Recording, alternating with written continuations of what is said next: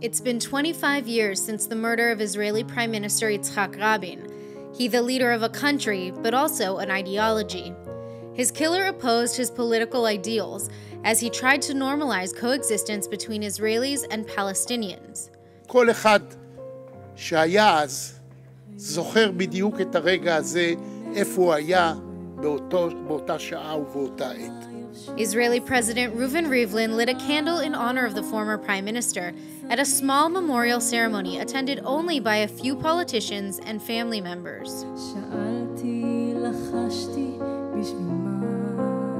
הרצח של ראש הממשלה יצחק רבין היה רצח פוליטי. הרוצח הנתעב של ראש הממשלה חייב, חשב שיש לו לגיטימציה לחסל כך, הלכה למעשה, את קיומה של אי ההסכמה הפוליטית שהייתה חריפה ועמוקה. Benny Gantz was also present and spoke to a divided country about what Rabin represented for him. כי אני הצעיר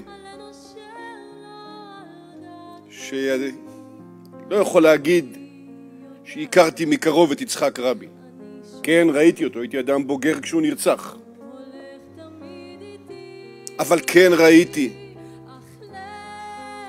על מה הוא עמד, מה הוא סימל, מה הוא עשה, איך הוא התנהג, ומשם איך כל זה כל כך חסר לנו היום. ככה פשוט.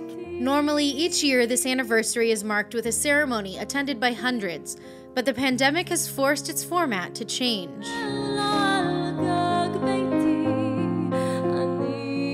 ברוכות וברוכים הבאים. מרכז ההסברה הכין בעבור כולנו מיזם אינטראקטיבי אשר בעזרתו אפשר ליצור טקס לציון האירוע הממלכתי לרצח יצחק רבין, זכרו לברכה. The channel will allow viewers to interactively build their own playlists in order to create custom ceremonies of their own to watch at home. אז איך זה עובד? הערוץ מחולק למספר קטגוריות של תוכן. למשל, קטעים מוזיקליים, קטעי קריאה, סרטי וידאו וקטעים טקסיים רשמיים. The Ministry of Strategic Affairs is asking Israelis to respect the COVID guidelines and find new ways to remember those we've lost. Nittany Manson, ILTV.